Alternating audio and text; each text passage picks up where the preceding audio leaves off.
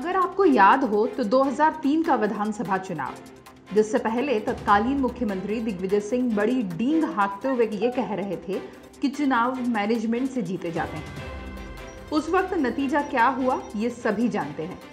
पर लगता है पूर्व मुख्यमंत्री कमलनाथ अब भी दिग्गी राजा के पुराने जुमले पर ही भरोसा करते हैं।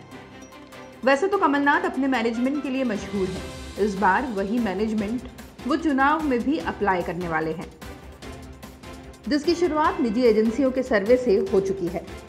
आपको बता दें कि कमलनाथ ने सरकार गिरने के बाद ही उन सीटों पर सर्वे की कवायद शुरू कर दी थी जहाँ जहाँ उपचुनाव प्रस्तावित थे।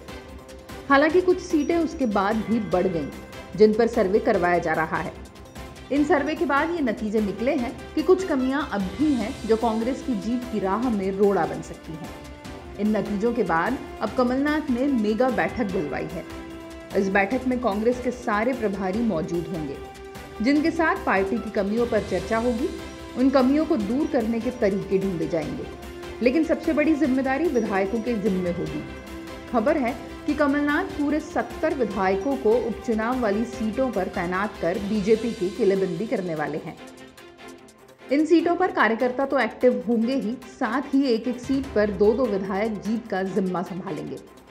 इस मास्टर स्ट्रोक के ज़रिए कमलनाथ ने बीजेपी को कमज़ोर करने की प्लानिंग तो तगड़ी की है।